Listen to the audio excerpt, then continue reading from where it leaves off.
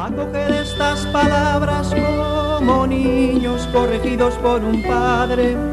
Llorad, suplicad, gritad.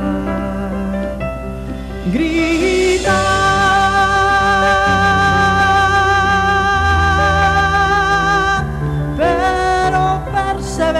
Trabajad.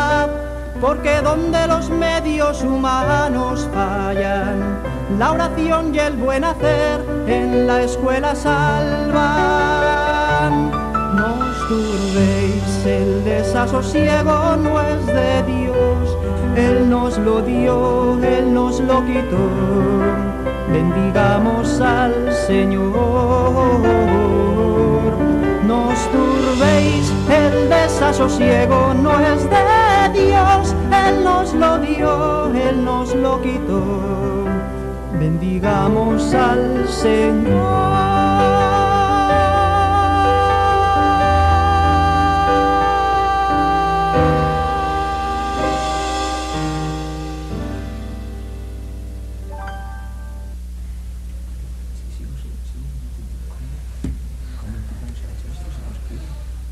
¡Padres!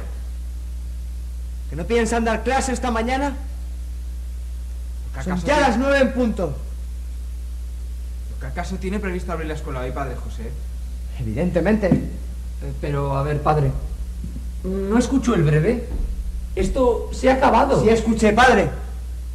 Y en ningún momento oí decir al secretario de su santidad que hoy debía dar fiesta a los alumnos y descanso a los maestros. Sea realista, padre José. Comprendemos que no debe ser nada fácil asimilar una situación como esta para usted. ¿A quién no nos cuesta?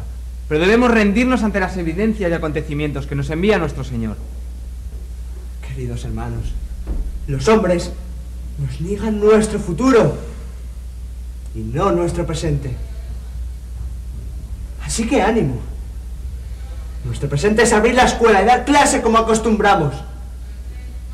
Con más dedicación y esmero si cabe.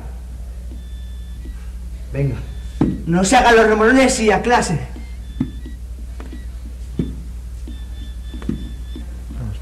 Por cierto, Padre Juan, recuerde que el futuro solo es de Dios.